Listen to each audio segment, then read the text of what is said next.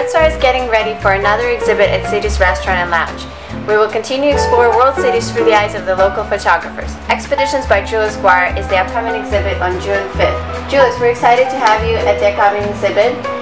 This exhibit will combine your passion for travel and photography. How those two things get along in such a wonderful man? Well, first of all, I'd like to say thank you very much, Art Soiree, for hosting my second exhibition with Art Soiree. The first one was fantastic. I guess it was, what, about two years ago nearly now? Yes, probably. Yeah. Well, I, I kind of grew up in different countries in Africa, Asia, the Pacific, and my grandmother and mother and aunt are all artists, so it comes natural. It's sort of in the family. So on the one side of the family, you've got travelers, the other side artists. and in the middle is Julius with a little bit of each side. Yes, exactly. so for the upcoming exhibit, uh, we have Expeditions by Julius Gwyer, your yes, latest right. travels. Mm -hmm. Which ones are we going to see?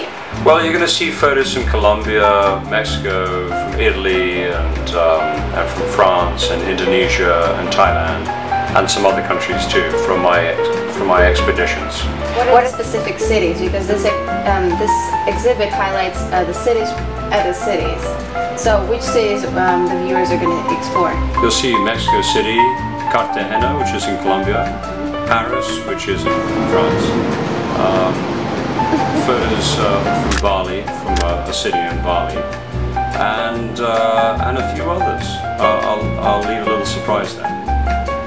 Which one was your favorite? Tell us. It's hard to say, you know, I, I, I love Bali, I lived in Indonesia as a child, Mexico City has a wonderful energy, Colombia is beautiful, Cartagena, it's uh, a little like how I imagine Havana to be, I've never been, but uh, yeah, very colorful. So I guess the next trip is definitely Havana. Either that or Russia.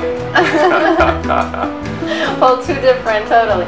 Um, here's a piece of equipment. Um, uh -huh. Is uh-huh. this the camera that you usually work with, or is this actually, something new to you? Actually, the uh, you know I've always worked with uh, 35 millimeter uh, digital cameras or film cameras, and this is a medium format uh, Hasselblad, and so it's a new camera for me, but it's a beautiful one.